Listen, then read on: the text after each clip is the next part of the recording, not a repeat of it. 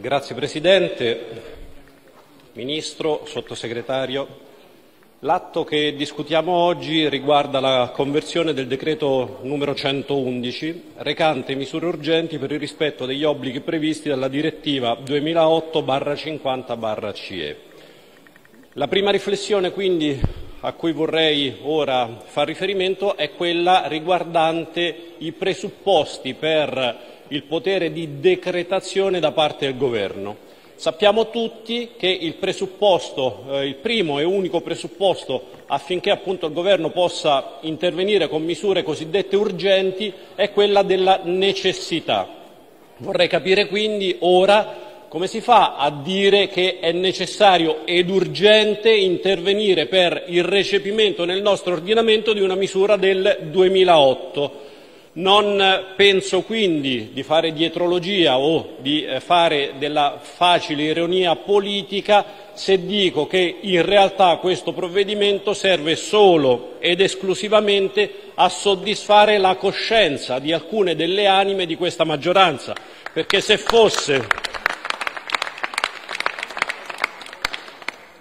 se fosse veramente un provvedimento urgente, conterrebbe delle misure tampone idonee appunto a fronteggiare questa emergenza, conterrebbe delle soluzioni concrete, conterrebbe quanto necessario per far sì che appunto l'emergenza si potesse superare.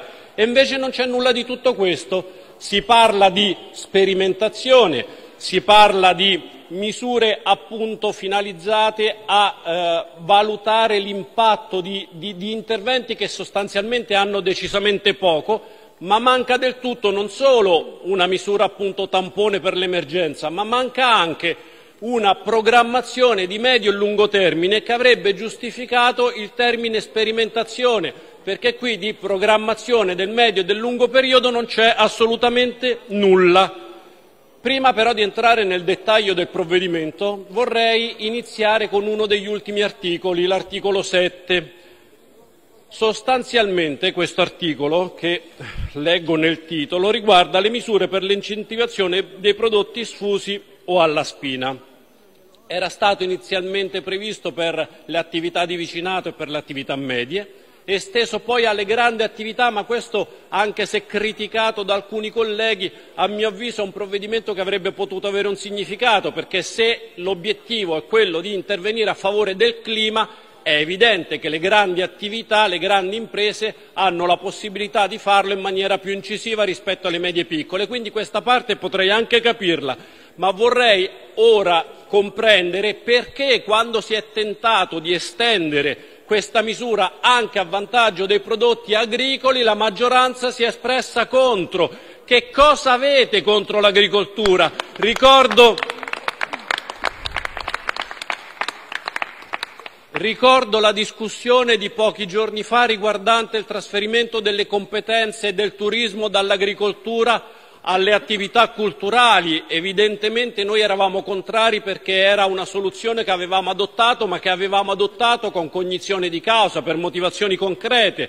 Ricordo la discussione riguardante i sussidi per eh, il gasolio indispensabili per l'attività agricola, perché sappiamo bene che questo settore senza i sussidi, senza gli aiuti pubblici non riuscirebbe ad andare avanti anche perché molto sensibile alla concorrenza sleale di paesi che non hanno assolutamente le protezioni che garantisce invece il nostro. Voglio dire una cattiveria allora, si dice spesso che chi non è particolarmente idoneo all'esercizio di un'attività è braccia rubate all'agricoltura. Quindi il mio timore sia che qualcuno della maggioranza non ha capito che quella è una battuta, pensa che veramente dovrà tornare a lavorare nel mondo dell'agricoltura e vuol distruggere questo settore perché è terrorizzato dal futuro che si prospetta. Andando però nel dettaglio di queste soluzioni, a mio avviso l'ideologia che ha motivato questo provvedimento si trova non solo nel testo del decreto, ma anche nel testo degli emendamenti presentati dal Governo. Voglio far riferimento in particolare al decreto, all'emendamento 4.0.851 che dovrebbe introdurre la capitale verde d'Italia. Il nostro splendido territorio, la nostra nazione, come estensione territoriale non è molto grande perché eh, abbiamo circa 330 km quadrati, ma è caratterizzata da una antropizzazione che ha fatto sì che comunque tutto il territorio sia, sia abitato. E questo ha consentito, anche grazie alla salvaguardia determinata appunto dalla presenza umana nei vari territori, ha consentito l'istituzione di molti parchi, sia nazionali che regionali. Quindi evidentemente da questo punto di vista il nostro è un territorio di pregio. Quindi a che serve ora pensare alla capitale verde? Sempre per dire una cattiveria, mi viene da credere che sia finalizzata a giustificare la presenza dei cinghiali a Roma. Istituiamo la capitale verde perché a Roma appunto abbiamo questo, questo problema.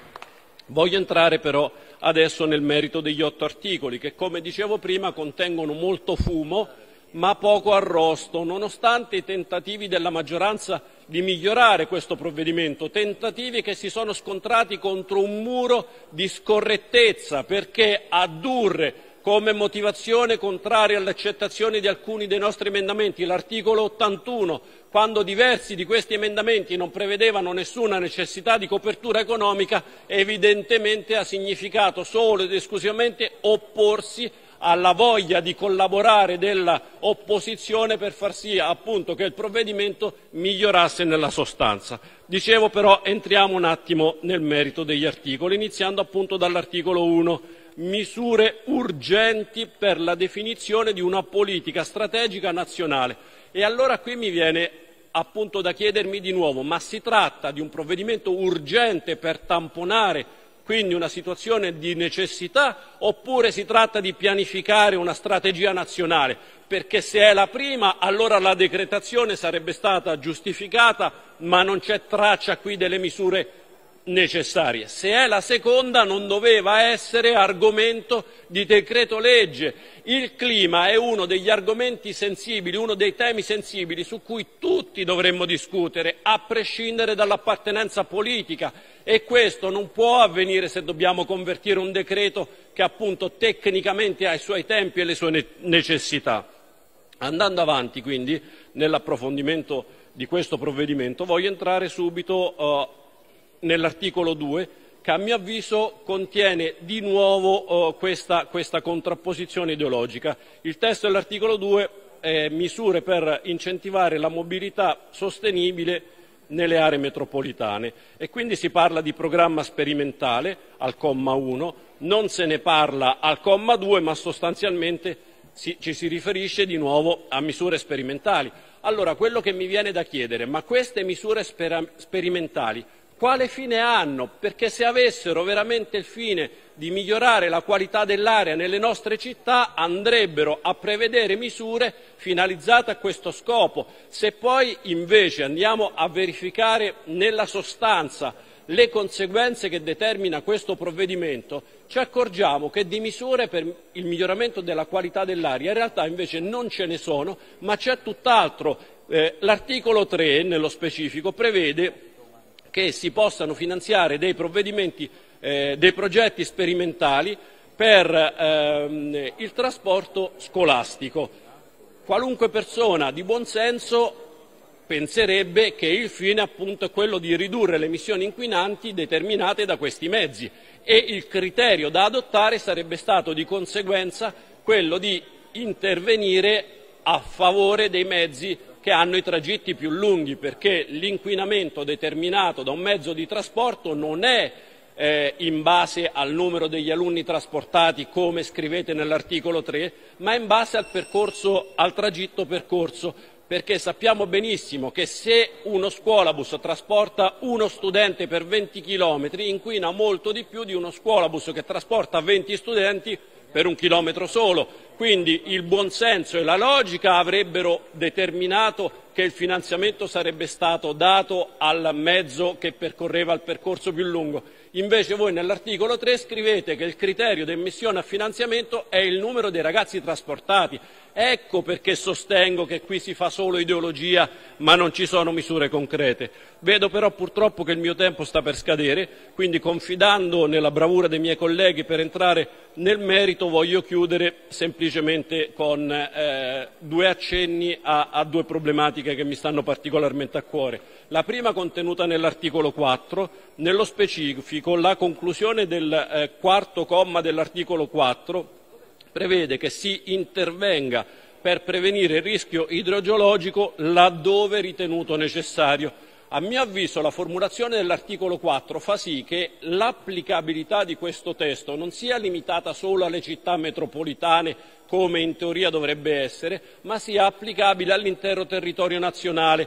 Questo mio sospetto è suffragato appunto dalla eh, locuzione che ho poc'anzi letto, che mi farebbe pensare che l'intento non sia quello di intervenire appunto per la forestazione nelle città eh, metropolitane, ma per adottare misure di prevenzione del rischio idrogeologico anche nelle altre aree del territorio e siccome questo andrebbe a scontrarsi con un provvedimento con un disegno di legge già presentato dalla Lega che prevede invece la pulizia degli alvei nelle zone più a rischio, spero che questo mio sospetto venga fugato e che il Governo chiarisca che l'applicabilità di questo decreto non riguarda appunto le zone montane.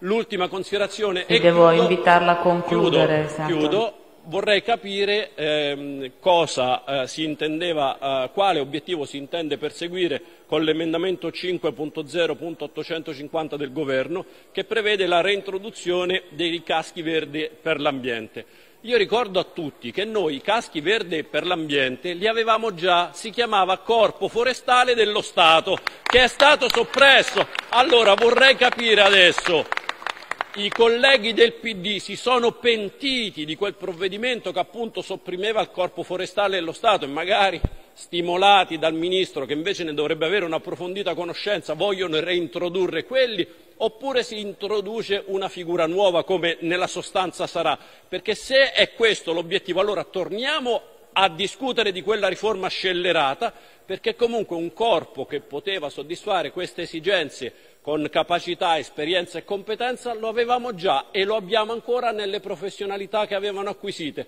Quindi non facciamo misure appunto oh, specchietto per l'allodole come evidentemente è questa e cerchiamo di ragionare seriamente su una riforma strutturale dello Stato. Grazie. Grazie.